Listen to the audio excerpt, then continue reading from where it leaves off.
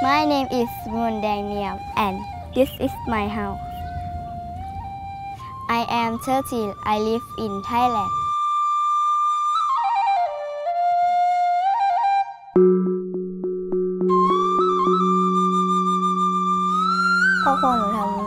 My family uses Samrong Canal for freshwater fishing.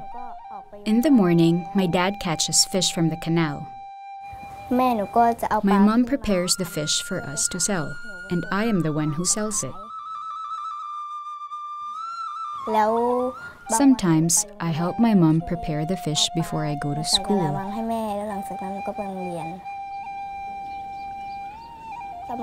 In the past, the water was clear and I could swim in the canal.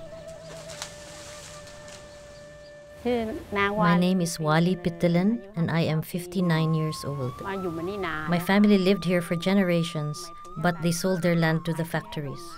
Next to my house, there is a textile factory. It discharges green, yellow, and sometimes black and red colored water. Also, toxic fumes from the factory come into my house. It is very smelly. In the past, the water was clean but since the factories arrived, they have released dirty water. When I go down to the canal to take a bath, my whole body feels ผื่ allergic. นก็ขึ้นเต็มตัว จับปลา In the สมัย past, ก่อ we น could catch many fish, but now there are only half as many. เกือบครึ่งเท่าตัว โรงงานเขาเคยมาติดต่อขอซื้อ The factories want to buy my father's land, but because my father was born here, he does not want to sell. The water is black. There are white bubbles floating on it and dead fish too. The air pollution makes my skin itchy. It gives me flu-like symptoms and I often find it difficult to breathe. If water from the canal touches my skin, I break out in a rash.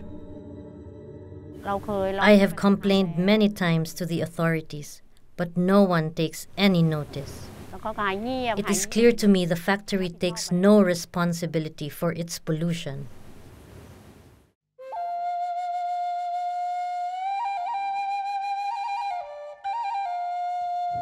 I want to see the river getting better, to be clean and have more fish like before.